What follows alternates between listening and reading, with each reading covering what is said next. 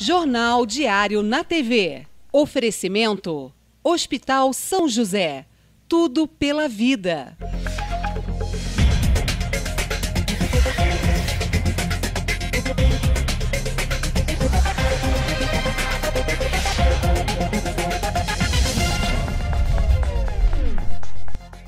Olá, Teresópolis, muito bem-vindo ao seu Jornal Diário na TV que começa a partir de agora aqui no seu canal 4 e também ao vivo para o mundo inteiro através das nossas publicações pelo Facebook e pelo YouTube. Aliás, eu quero já agradecer aqui porque a gente já começou o programa, né? Você que nos acompanha ao vivo, já começamos com um monte de participação, muita gente aqui já antenada e participando da nossa programação geral. Você sabe que a gente está aí com a série de entrevistas, né? Hoje receberemos os candidatos do PRP, cujo cabeça né, da chapa é o Nelson Durão. Daqui a pouco a gente faz a entrevista, você sabe, começa sempre na segunda hora. Temos a primeira hora do programa, vida que segue, nossa vida normal aqui, os nossos compromissos. E depois, na segunda hora, nós temos a série de entrevistas que você, Teresopolitano, está tendo a oportunidade de conhecer um pouco né, desses candidatos a prefeito na eleição suplementar que a cidade enfrenta né, no próximo dia 3 de junho. Então, para você ficar bem informado sobre essas candidaturas, conhecer cada uma delas, né? Com tempo para que se fale, né? Tem muita gente dando cinco minutos aí, cinco minutos não dá para falar nada. A gente tem aqui uma hora inteira para os candidatos falarem, né? E colocarem as suas proposições para a cidade. Você tem o dever cidadão de fazer o filtro de tudo que está sendo dito aqui, né? Bom, a cidade está em polvorosa e somos novamente aí, né? O ponto de referência do, da imprensa esportiva mundial. Neymar e companhia já estão em Teresópolis treinando, né? já mostramos aí na nossa edição impressa que a galera já está aí, já está fazendo lá os treinamentos, tem trabalho físico, logo mais tem trabalho em campo. Uma pena né, que cercaram tudo, né, gente? Aquele tradicional, é, aquela tradicional gritaria na cerca não vai rolar, né? Fizeram literalmente tapumes em volta da CBF, uma tristeza. Né? A população quer ter acesso aos seus craques, né? mas enfim, né, é a política lá do técnico Tite. A gente vai acompanhar, inclusive, esses primeiros trabalhos da seleção. Você vai ter a oportunidade de acompanhar comigo aqui também imagens lá da CBF TV. CBF TV é a, geradora oficial dessas imagens internas, né? Então, todos os veículos do mundo utilizam essas imagens internas da CBF TV. Daqui a pouco vamos colocar para você acompanhar também. E olha, hoje também tem entrevista, claro, né? Tem muita entrevista aqui. Hoje nós vamos conhecer.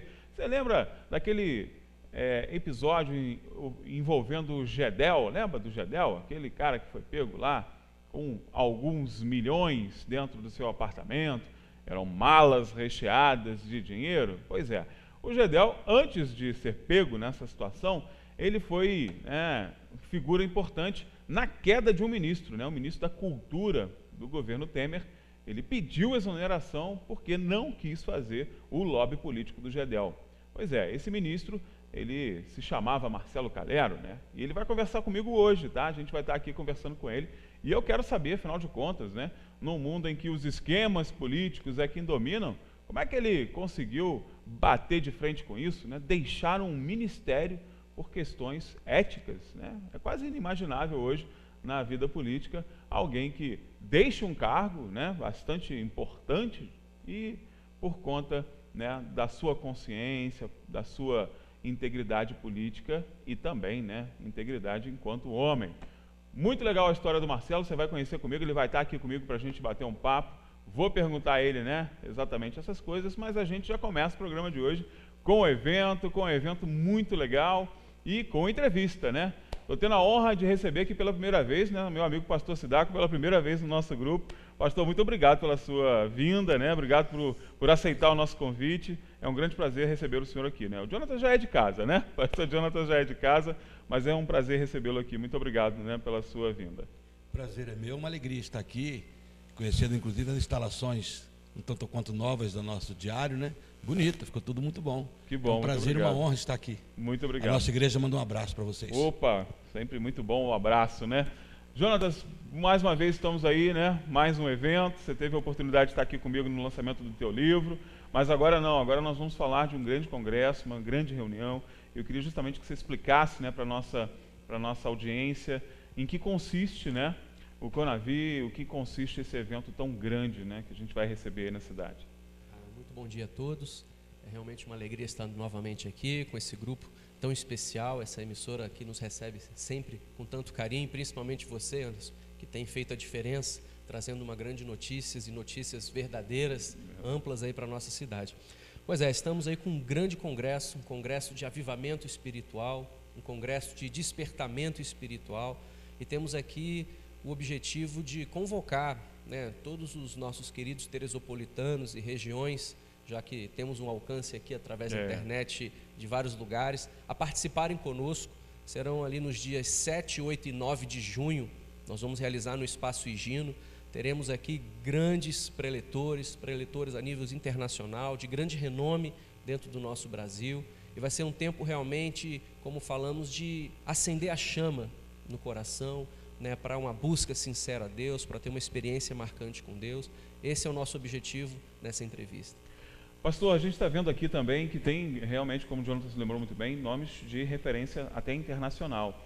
A reunião por si só já seria importante, né? Estar todos congregados, né? discutindo coisas importantes, né? trabalhando essa coisa do avivamento, mas ter nomes de peso como esse tem também uma importância ainda maior, né? Como é que vocês vão receber essa galera toda de, de, de renome aí que a gente está vendo no, no, cartaz?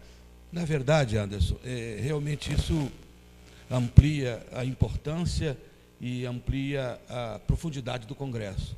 Uma vez que pessoas estão abalizadas para falar sobre esse assunto, como é o caso do pastor Luciano Subirá, que já veio uma vez no nosso Congresso, no nosso Conavi, e está de volta. É um homem que conhecido quase que no mundo inteiro, né? Tem sido conhecido em todo canto, em todo lugar. E o pastor Jonas fez o contato e ele, com carinho, aceitou voltar. Pastor Josimar Fonseca é muito conhecido também nos grandes congressos promovidos por esse Brasil, em lugares do mundo, como o Congresso Fogo para o Brasil, do pastor Silas e tantos outros. Pastor é, Elias Caetano, você tem uma ideia, ele só ele, ele trabalha na África, como missionário, uhum. a ênfase do trabalho dele é na África. Lá ele já organizou mais de 300 igrejas. E ele vai estar no sábado pela manhã, pastor Elias Caetano. E à noite o pastor Neil Barreto, terminando o nosso congresso. A importância desses homens estarem conosco é justamente essa. O Congresso está, está comemorando, Anderson, 25 anos. Olha. Jubileu de prata do nosso Jubileu Conavi. Então, ali no Egino, onde já tivemos alguns anteriormente, estaremos ali um congresso, inclusive, histórico, né? Pelos seus 25 anos. A importância deles é essa, porque aprofunda, valoriza e cria ainda maior expectativa para a bênção, para o, o sucesso desse evento. Agora, é um evento aberto para todos, né, Jonathan? Todas as, as, as igrejas que, que, quiserem participar, né? Aliás, é esperado que se participe mesmo, né? Até pelo peso desses predadores, é, a ideia é que todas as nossas igrejas participem de, desse congresso. Sim, é um congresso aberto para todas as pessoas, né? mesmo aquelas que talvez, ah, nós não somos aqui cristãos, mas eu quero conhecer mais da palavra uhum. de Deus, eu uhum. quero entender mais né, o que, que esse povo fala tanto, o que, que é esse avivamento, esse despertamento, essa vida que a gente prega. Então é aberto realmente para todas as igrejas, temos divulgado também em outras plataformas lá no nosso Facebook da igreja, no nosso site da igreja, inclusive né, é, precisa ser feita uma inscrição. Uma inscrição prévia. É, né? Precisa fazer uma inscrição, tem um valor simbólico, até porque a gente tem uma série de custos ali Sim. do espaço Gino e tudo mais, né? Mas assim, vale muito a pena realmente o investimento e o nosso desejo é justamente abrir para todo mundo. A nossa igreja poderia fazer só para ela e atender só o nosso público, mas nós cremos que aquilo que Deus deseja fazer, Ele deseja fazer para todas as igrejas, em todas as pessoas. Então, realmente é aberto e convidamos e vamos recepcionar com muito carinho todos os nossos queridos irmãos. Falando especificamente dessa questão do avivamento, né? Talvez seja o que nossa humanidade deveria perseguir hoje, né? Em momentos que a gente vê tantas arbitrariedades, né? Tantas coisas ruins acontecendo nesse mundo.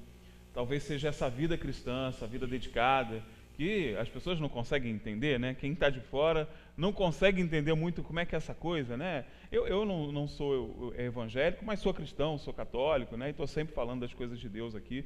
E as pessoas que estão de fora, né, não conseguem entender, mas por que, que vocês gostam sempre de falar das coisas de Deus?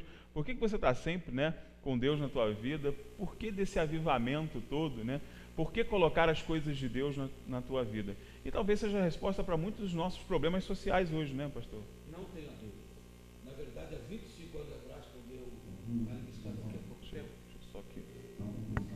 Bom, vamos lá. Troca com ele aqui que eu acho que deu problema no microfone. Vai lá, pronto. Agora sim. Pode começar, pastor. Na verdade, há 25 anos atrás, quando nós é, fizemos o primeiro Conavi, eu estava há pouco tempo em Teresópolis, há seis anos só, o objetivo já era esse, Anderson, era entender que a esperança desse mundo, por mais que tenhamos liderança política, jurídica, é, religiosa, enfim, todo, é, militar, policial, mas a esperança é realmente o homem voltar para Deus, né? Você como cristão, eu como cristão e qualquer outro ser humano deve entender isso. Por isso o Conavi tem essa conotação. Ele nunca foi para uma igreja, como já disse aqui os Jonatas. Nós já, eu já recebi em Conavi freiras, pessoas que são Sim, católicas, verdade. né? Queridos nossos também. E até pessoas, um, um certo senhor uma vez disse, eu sou ateu. e foi para o Conavi. Então, eu, mas o objetivo é dizer para o mundo isso, que a esperança está em Jesus. E se, porque se a dignidade do homem mudar, tudo mais muda, né? É, é o oposto, por exemplo, da teologia da libertação, que acredita na libertação da sociedade, e aí salva o homem. E ao contrário, se você libertar o homem, você salva a sociedade. É. O Conavi tem esse objetivo. Por isso, avivamento ou reavivamento trazer de volta a vida, a vida de Deus no homem. Esse é o propósito para todos nós, porque a esperança de fato é Jesus. E a gente falava, né, Jonathan? Vou compartilhar o microfone ali, pastor. Deu problema nesse aqui. A gente falava na sua última entrevista dessa questão da valorização da família, né, como instrumento principal, inclusive, de toda essa dinâmica que a gente está falando, né, de recuperação da nossa sociedade. Esse congresso também tem um pouco disso, né, de, de reunir a comunidade cristã como uma grande família que tem que tomar para si a responsabilidade mesmo de salvar esse mundo. Né? A gente está com essa, essa responsabilidade muito forte. A gente precisa é, tornar essa, essa coisa que nos faz tão bem presente na vida dos outros também, né, Jonathan? Sim, sem dúvida, né, Anderson? A gente percebe que famílias saradas vamos gerar uma sociedade sarada. Né? A gente percebe hoje como a família tem sido atacada, né? de vários lugares e várias emissoras muitas vezes até lutam contra Nossa. a própria família. Fazem é uma campanha guerra, contra a família, né? Campanha, né? Nós percebemos o nosso Congresso, né? Muitas vezes criando até leis que dificultam a questão familiar, enfim há uma luta muito grande e nós desejamos a cada dia preservar a família. Né? A instituição que Deus criou, foi a primeira instituição criada na face da terra, foi a família. É. Né? E você vê que o nosso próprio folder, ele tem a imagem da família. Da família, né? exatamente. É uma família junta, uma família ali avivada, vivendo os preceitos, os valores de Deus. Isso é o avivamento. Avivamento é você trazer tudo aquilo que Deus tem para nós na nossa realidade. E o que Deus tem é o amor, a graça, o perdão, né, uma reconstrução voltada para os valores que nós temos como cristão, como família. Então esse congresso realmente ele envolve tudo. Por isso que nesse folder a gente fez questão de colocar a família, a família. como centro né, de, um, de um avivamento, de um despertamento. É, e a família tem que estar na igreja, gente, não tem jeito. A família tem que conviver com a igreja, tem que estar junto, tem que participar da igreja, tem que viver a igreja. Isso é, é fundamental, a gente percebe isso claramente. Aproveitando um pouquinho da experiência do pastor Sidaco também, vou aproveitar que ele está aqui para a gente falar dessas coisas. Né? Pastor, a gente está sempre falando aqui que o, muitas vezes, ou quase em 100% das vezes, em que o braço do Estado é curto demais para chegar em determinados locais, se faz presente a igreja né, e a sua vocação social, a sua vocação de fazer o bem ao próximo. É, em tempos de crise, isso fica mais evidente. Né? Eu tenho certeza que a igreja tem recebido muitas dessas demandas que estão sendo reflexos das ingerências, né?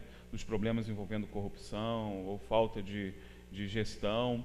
É, a igreja está absorvendo muito desses problemas sociais. Isso, o senhor tem percebido muito isso nesse, nesses últimos anos? Sim, a igreja tem participado, é, tem, tem experimentado isso sim. Ela está passando né, por alguns momentos assim, difíceis, até porque a igreja é formada de cidadãos da sociedade, enquanto os cidadãos sofrem né, socialmente, economicamente, politicamente, a igreja também sofre, né?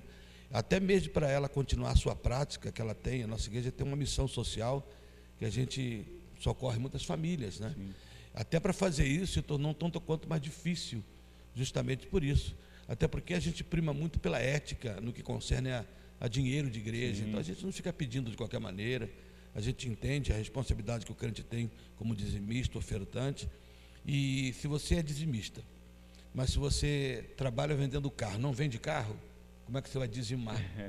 Como é que você vai ofertar? É. Então, se é, o emprego é difícil, claro que repercute na igreja, mas a gente continua lutando, a gente continua tentando, a gente continua buscando, a gente encontrando caminhos para prosseguir. Né? A esperança é que tanto Teresópolis como o Brasil venha é, modificar-se, ser abençoado e ajudar a gente a prosseguir servindo ao próximo, como é a intenção da igreja.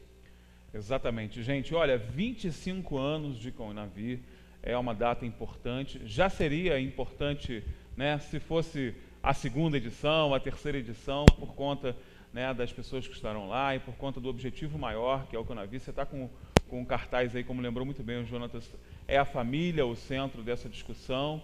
É, todas as famílias teresopolitanas estão convidadas a participarem, né, Jonatas? É importante a gente fazer esse convite você que, mesmo não se considere cristão ou não pratique a fé cristã, vai escutar o que vai ser dito, né? vai conhecer um pouco do que está sendo falado, eu tenho certeza absoluta que você vai compreender melhor.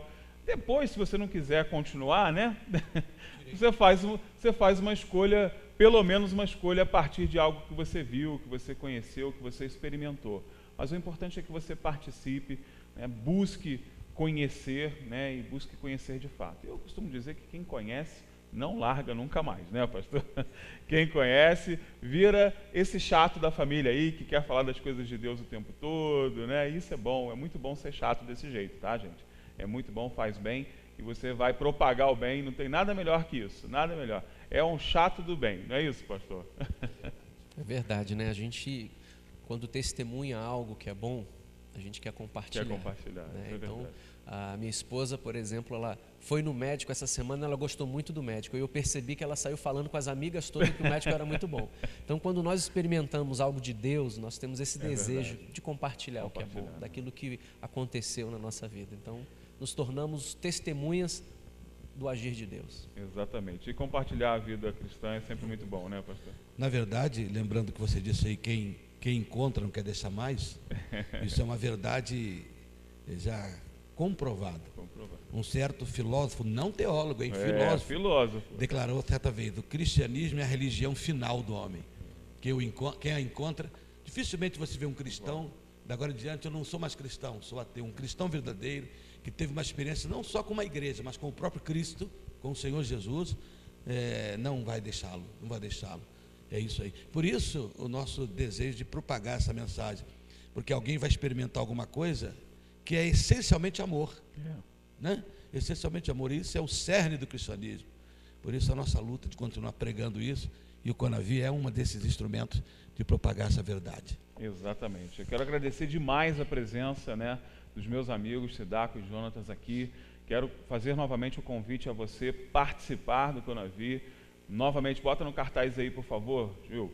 Mais uma vez, ó, dias de 7 a 9 de junho, vai acontecer lá no Espaço Higino, super confortável, né? Tem essa questão da inscrição prévia, o espaço também é limitado e não tem que ter o conforto garantido, então por isso né, é um congresso muito grande, então a tendência é que venha pessoas de outras cidades, né, de outros lugares, então faça a sua inscrição prévia, né, participe deste momento, que é um momento muito bacana para a família teresopolitana se reunir e falar das coisas de Deus. Né? Amigos, muito obrigado pela participação de vocês. Pastor Sidaco, foi a primeira vez, mas eu espero que venham muitas, Com né? muito prazer. Quando puder e quiser, nós estaremos sempre à disposição e também, eh, não só nós estamos à disposição de vocês, mas nós também somos gratos por vocês terem aberto esse espaço para a Igreja Batista em Barra de Embuí trazer essa palavra. E o Conavi, é só uma coisinha, o Conavi no sábado é de manhã e de noite. Ah, às nove da manhã tem o café da manhã, para todos que lá estiverem, é, às nove horas e depois à noite. Né? Então vem gente de muitos lugares, nossos hotéis já estão sendo mobilizados para atender pessoas que vão ficar aí de quinta a sábado Né? Para... Que pena, né? Vamos chegar tão perto, mas não vamos poder ver a Não vou poder Comari, ver, né? né? À tarde vai ser livre para eles tu... fazerem turismo. Mas, é isso. é. Vai chegar lá, vai encontrar um monte de tapume, né? Coisa feia, né? Por isso eu aconselho aqueles que, de Teresópolis que façam sua inscrição já. É, porque é verdade. limitado, como, ele, como disse bem aqui o Anderson, o espaço é limitado, mas corram e façam a sua inscrição. Tem aí direitinho o site da igreja, como você Exatamente, pode se né? inscrever. Vamos Muito lá. obrigado. Obrigado, pastor. Muito obrigado mesmo. Jonatas, muito obrigado também mais uma vez, tá? A casa é sempre de vocês. Já só avisar e vir. Obrigado aí pelo carinho de sempre e pela recepção. muito É, obrigado. nosso site, Anderson, né, Tá para bom. inscrição é www.ibbi.com.br. Exatamente. Vai lá, faça a inscrição. E para você que está em casa aí, ó, tá só começando, tá? A gente ainda tem muita entrevista. Vou receber aqui o Marcelo Calero, vamos falar do jornalismo. Tem um monte de coisa para a gente tratar ainda, tá? Intervalo comercial rapidinho, daqui a pouco a gente está de volta.